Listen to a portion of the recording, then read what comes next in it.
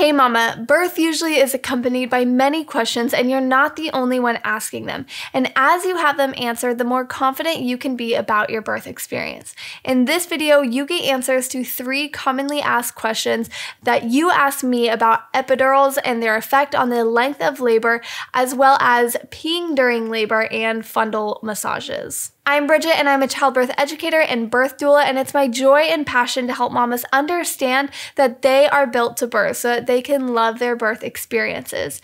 If you're new to our YouTube community, be sure to subscribe and hit the bell next to the subscribe button so you don't miss any of your empowering videos about pregnancy, birth, and postpartum in the future. The more you know, mama, the more confident you can approach your labor, birth, and postpartum period. So let's answer a few of those questions to have a more empowering, positive, and confident birth. So, epidurals are just one of the many comfort measure options available during labor, but it is very powerful. Anything that can take away the powerful sensations of labor that bring your baby from your womb into your arms has to be very powerful as well. Epidurals are made up of a concoction of a type of local anesthetic called lidocaine or bupivacaine and an opioid, usually fentanyl. This medication is continuously administered into mama's body by using a catheter that is placed right by the spine that eliminates or significantly numbs labor sensations from the belly down. So, the commonly asked question that mamas ask is Do epidurals make labor longer? And the answer is Oftentimes, yes. In one study done in 2012, in order to keep labor progressing by one centimeter of dilation per hour after an epidural was given, synthetic oxytocin, often called Pitocin, had to be administered in order to keep labor pro- progressing in the same time frame of a woman without epidural analgesia. The reason for needing Pitocin to augment labor or help it keep going was because after the epidural, the uterus slowed or completely stopped contracting, or the contractions or surges were too weak and infrequent, making them ineffective at progressing labor.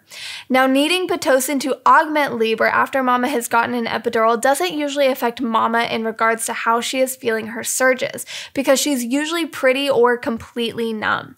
However, Pitocin can cause the surges to become too frequent and strong, potentially causing uterine hyperstimulation that can cause baby to not get enough oxygen being sent to them and putting them into distress, which I know no one wants. If an epidural is something you feel is necessary for labor, it's usually best to get it when you are in active labor and it is well established, after you are six centimeters dilated. And the reason for that is because it's less likely that labor will stall once it is more established.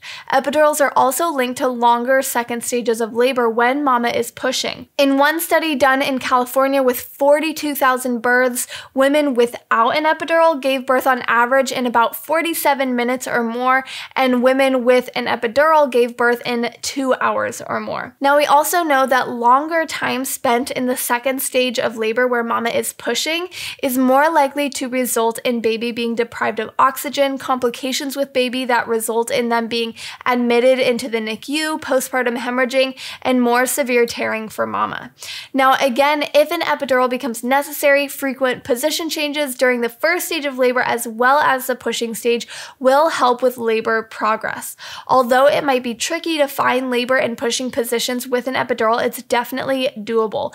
Laying on your side during pushing is an option instead of lying flat on your back, or even being on all fours is a possibility if you have enough feeling in your legs to support you with the help of your support team to get you into that position. And it's a great way to birth your baby to keep them moving down and out more quickly and effectively.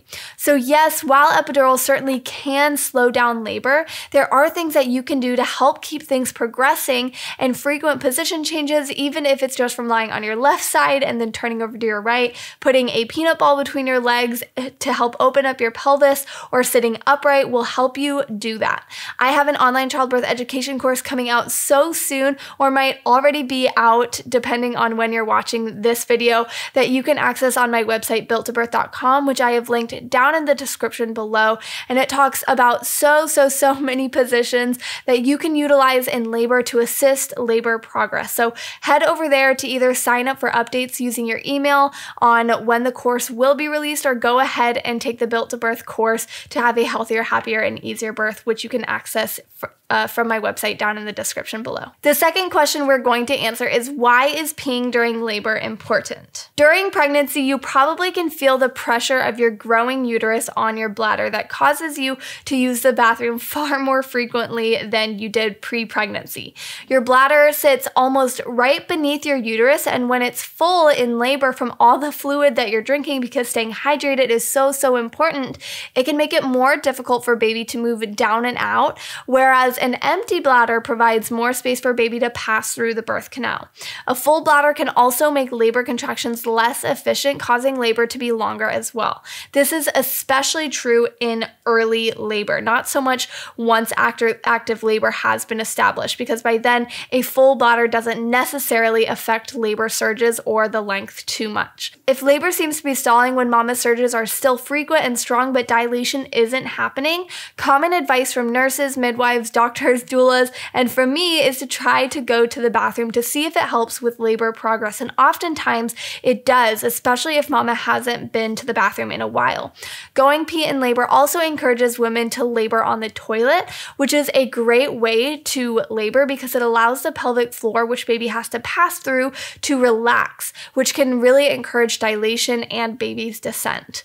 Laboring backwards on the toilet can be a great way to go pee and find relaxation during labor because it allows you to be upright, leaning forward by resting your arms and head on the tank or the wall in front of you, and then is using gravity to bring baby down and out.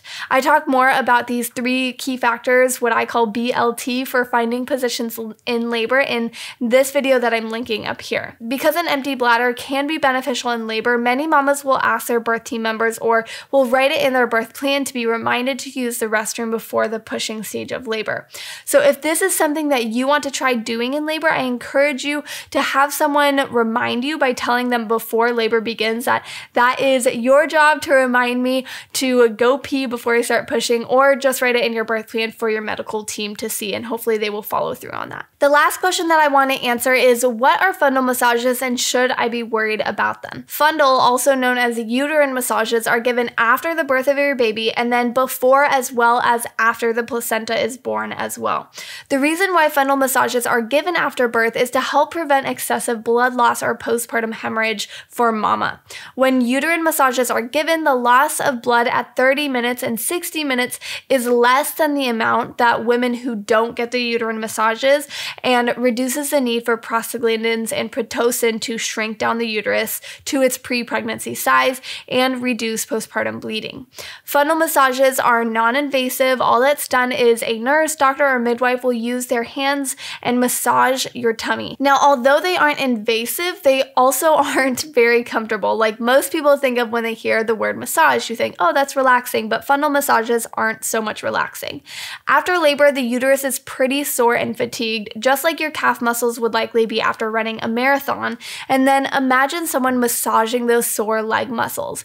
It's not going to be super comfortable. Your uterus is going to feel the same way, which is why this massage is going to be sort of uncomfortable. But as long as you can continue breathing through them like you have your surges with the de-stressor breath, which I teach you how to do in this YouTube video that I've linked up here, that you definitely must check out if you haven't yet to have a more relaxing and effective labor, your uterine massage will be much more tolerable and is nothing to be worried about. Your medical care team will do the fundal massage just a few times immediately after labor, and then we'll teach you how to do it, or we'll come in and do it every one or couple of hours when you are in your postpartum room. While they are uncomfortable, they can keep you healthier and safer and are nothing to be scared or worried about, mama. Well, mama, I hope that answers some questions that you have about labor and birth so that you can have a more informed, empowered, and productive labor.